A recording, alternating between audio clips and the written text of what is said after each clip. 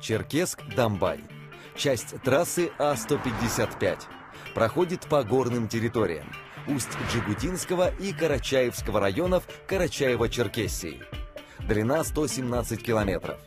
Трасса А-155 проходит через населенные пункты Тиберда, Карачаевск, Сарытюз и Усть-Джигута. Дорога А-155 пролегает по предгорной и горно-лесистой местности вдоль правого берега Тиберды и в долине реки Кубань.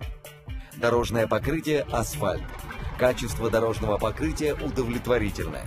На трассе практически везде есть разметка. Мост через реку Тиберда отремонтирован. Грузоподъемность до 80 тонн. Самый опасный участок трассы от Карачаевска до Тиберды. На этом отрезке дороги Черкесск-Дамбай много резких поворотов и участков с сужением дороги. Ограничение скорости от 90 до 40 км в час. Часто после резких поворотов стоят мобильные посты ДПС.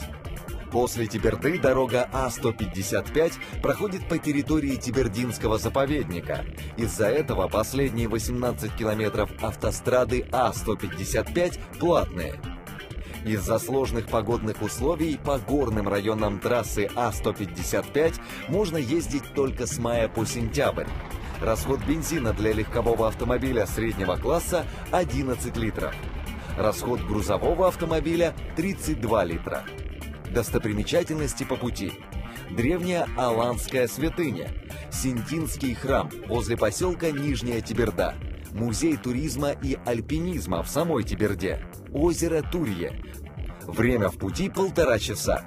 Оценка по десятибальной шкале. Уровень комфорта 9 баллов. Степень качества 8 баллов.